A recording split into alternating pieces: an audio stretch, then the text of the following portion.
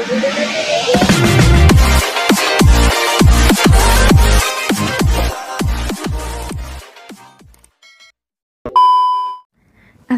teman-teman Weekend kali ini kalian udah punya rencana nggak mau liburan ke mana? Jika mendatangi tempat wisata, hal wajib yang dilakukan adalah berfoto.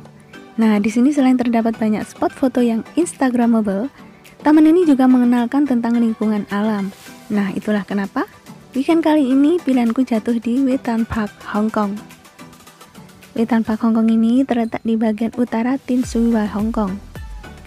Hong Wetan Park ini adalah fasilitas ekoturisme kelas dunia yang bertujuan mempromosikan turisme hijau dan pendidikan tentang perlindungan lingkungan dan konservasi lahan basah.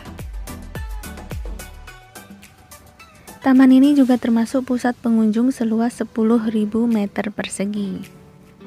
Pusat pengunjung memiliki galeri pameran bertema teater, toko souvenir, dan area bermain dalam ruangan. Galeri pameran bertema menampilkan pentingnya lahan basah bagi keanekaragaman hayati, peradaban, dan konservasi.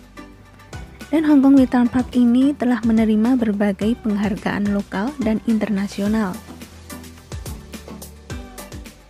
Taman ini dipilih oleh masyarakat umum Hong Kong sebagai salah satu dari 10 keajaiban rekayasa masyarakat Hong Kong di abad ke-21.